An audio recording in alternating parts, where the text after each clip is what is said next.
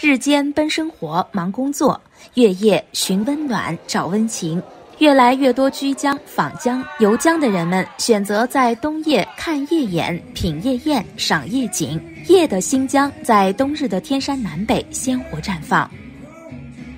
十二月二十号晚二十时，夜幕下的乌鲁木齐新疆国际大巴扎灯火通明，人头攒动，气温已是零下十几摄氏度，但并没有减少游人的兴趣。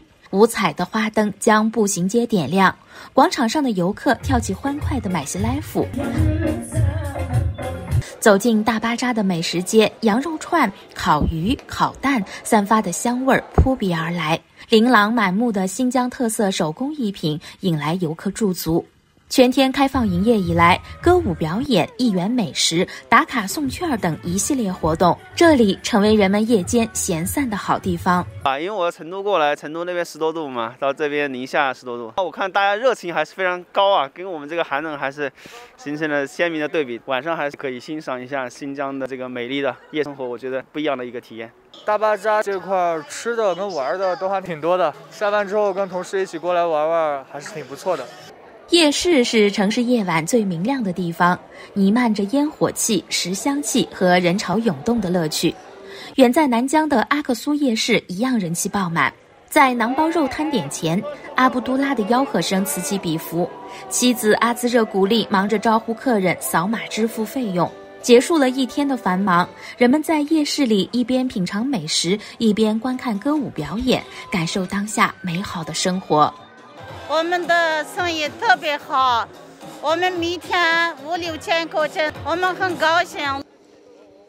已经是二十一时，很多的滑雪爱好者踏着夜色从雪道飞驰而下。滑雪爱好者马昭介绍，夜滑不仅是一种滑雪方式，更是一种生活态度。在灯光照射下，夜场雪道别有一番景象，身心得到的放松。这是我第一次体验夜间滑雪。滑雪的心情也特别的舒畅。我们升级了多项的设施，开设了十余种冰雪游乐项目。啊，我们希望国内外冰雪运动爱好者来到新疆，感受夜间高山滑雪的魅力。晚二十二时许。在乌鲁木齐某购物中心，休闲娱乐为一体的综合体成了消遣的又一去处，也带动了商场的销售量。整个的营营业时间是在之前的基础上整体延长了一个小时，然后我们也推出了非常多的一些惠民活动，像夜间观影，我们大概比对了一下客流，可能是上升了在一个百分之三十左右。晚二十三时，在新疆沙雅县某生鲜超市，店家开启放假模式，大到各类食品，小到调味料。我们的客流量也持续增加，下午七点到十二点钟，尤其这个时间人是最多的。我们针对这个情况，也推出了特价的蔬菜、特价的水果，还有特价的商品。